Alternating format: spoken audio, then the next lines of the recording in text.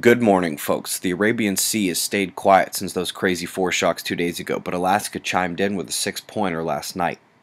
Couple good recommendations today. First out of Hubble and Spitzer, catching us up on the recent supernova from M82. We're also recommending Harvard Smithsonian Center for Astrophysics release on stellar nurseries. It was a good read. Today's top story is important. We've talked a lot about exoplanet candidates, but this is the confirmation of those planets in an unprecedented wave. It's of special importance to us here given the Starwater hypothesis. Remember that the breakthroughs of the last 10 years, when you put them together, suggest that as many as half a trillion watery worlds exist just in our galaxy.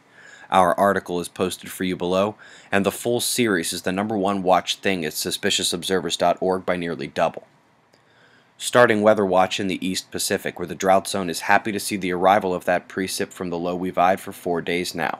Will be heavy in some spots, Meanwhile, the eastern portion of the country is waiting for the latest stratosphere-driven cooling to go away.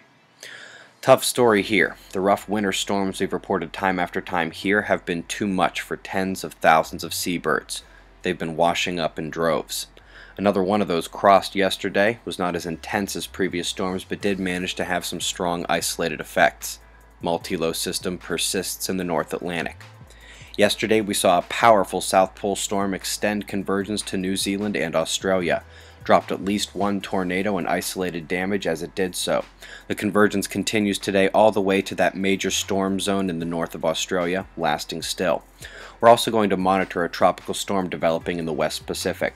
As you see the rest of the world's storm potential, note that we'll show some new overlays to the world wind map today at the end of the video. Solar wind is calm, so is the KP and electron flux. This will change with two CMEs and two coronal hole streams set to impact Earth in the next few days. First one's expected before the evening news tonight.